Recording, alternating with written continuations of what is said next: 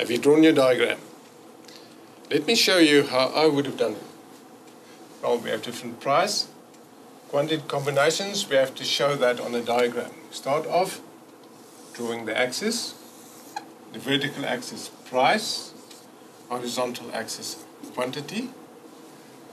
Just show the intervals here, the vertical axis, one, two, three, four, five, six, seven, and then on the horizontal axis,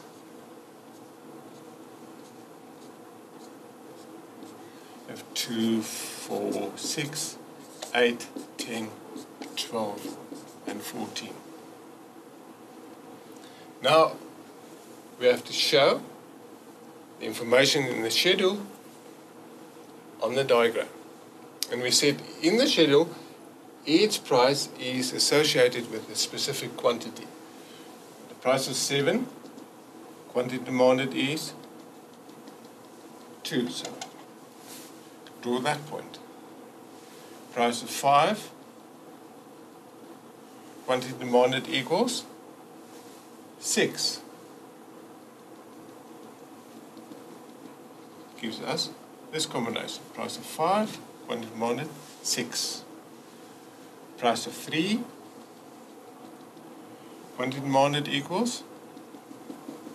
10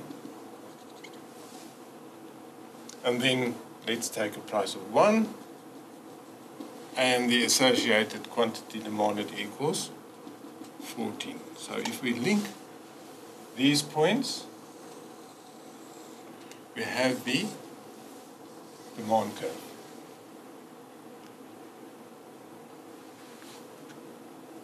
Does it look the same as yours?